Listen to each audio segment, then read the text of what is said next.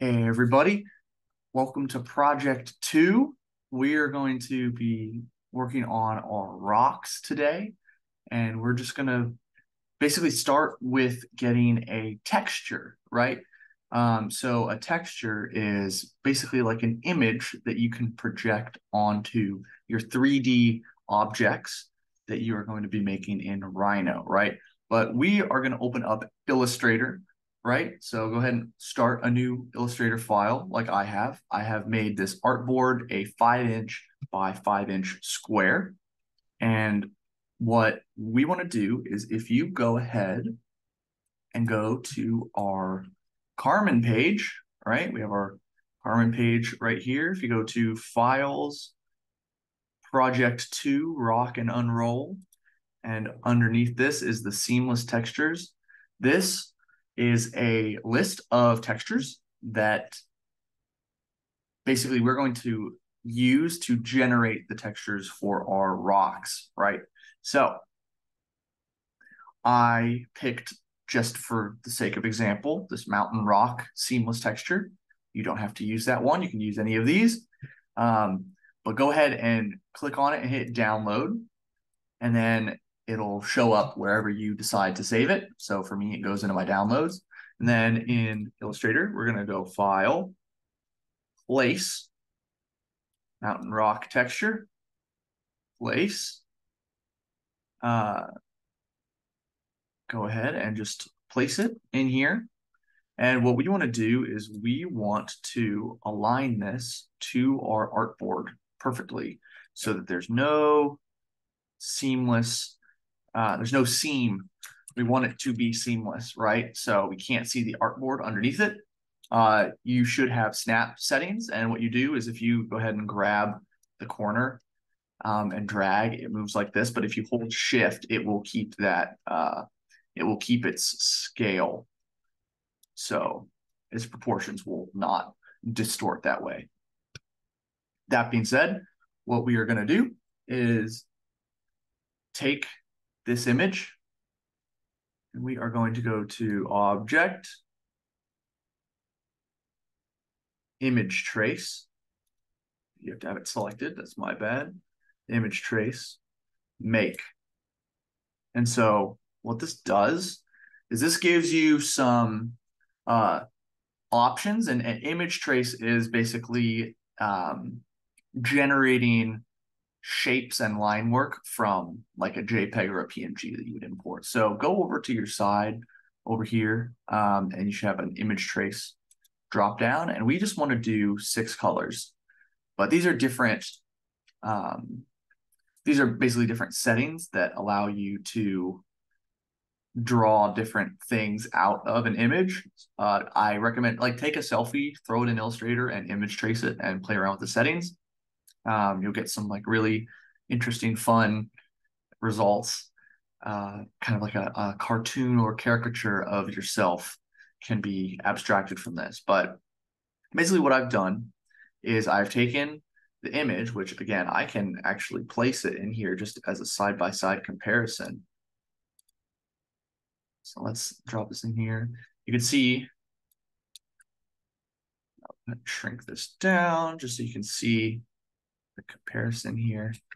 One of these is very much an image, while the other is this abstracted um, series of shapes and lines that make up a similar thing to that image. And because I, I clicked the six color setting, um, it has basically rendered this thing into six different colors. So you can see it's actually, it loses some detail, but this is just a really nice graphical texture that we can then start to play with and use.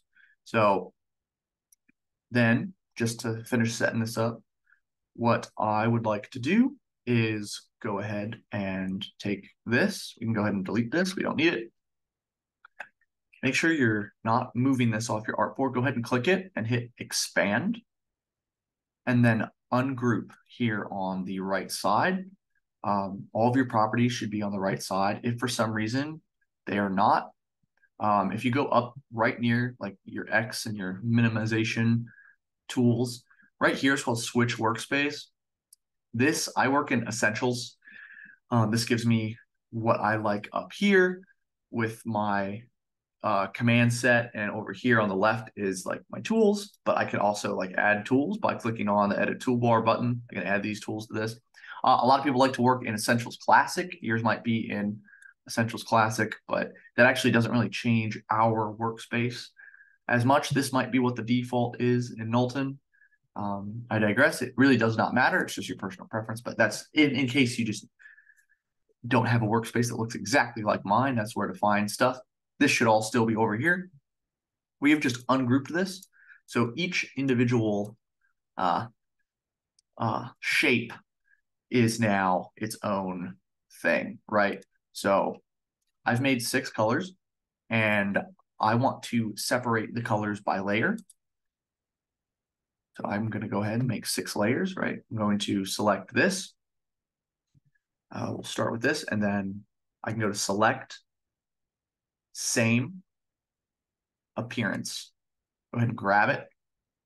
Selects everything that looks like it. Uh, and that is both stroke, weight, and and a shade of color. And so I can go ahead and grab this dot and drag. I'm holding my right, um, I'm sorry, I'm holding my left mouse and I'm dragging and then I let go and I put it on that layer and then I can just hide it. So it goes away. I can grab another one and do the same thing. Select same appearance. Go ahead, drag this up to this purple layer. Ahead and hide it. Grab this. Select, oh, I'm sorry, up here. Select same appearance. Drag this up to four and then hide it. Here we go. Select same appearance. Drag this up to three. Hide that layer. Grab this. Select same appearance on layer two. Hide it. And then hide your last layer just to see. All right. We put everything on their own layers.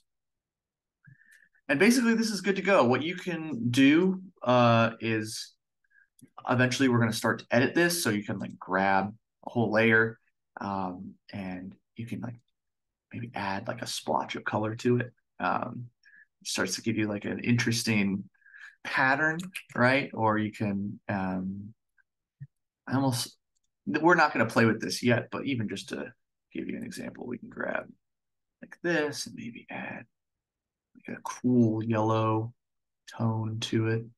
That's pretty interesting. As a, we can start to get some really fun, unique patterns based off this. But like I said, we just wanted to start by getting it set up, prepped, and we can do that now. Go to File, Export as JPEG. Go ahead and save it wherever you want. Um, I will put it in my Project 2 content. Click Use Artboards because it will grab that artboard and go ahead and name it texture one and click export. It's going to pull up this. Uh, your your default, depending on what you've done, maybe CMYK. Make sure it's RGB. So CMYK is for print media and printing, as opposed to RGB is for screens, renders, digital stuff. Go ahead and max this out to 10 and keep this medium and that clicked and we are good to go. All right, so go ahead, pick a texture, run through it with that, and you're good to go. That's your texture. Next video, you're gonna see how to make our rocks. So let's dive into it. Keep up the great work, guys.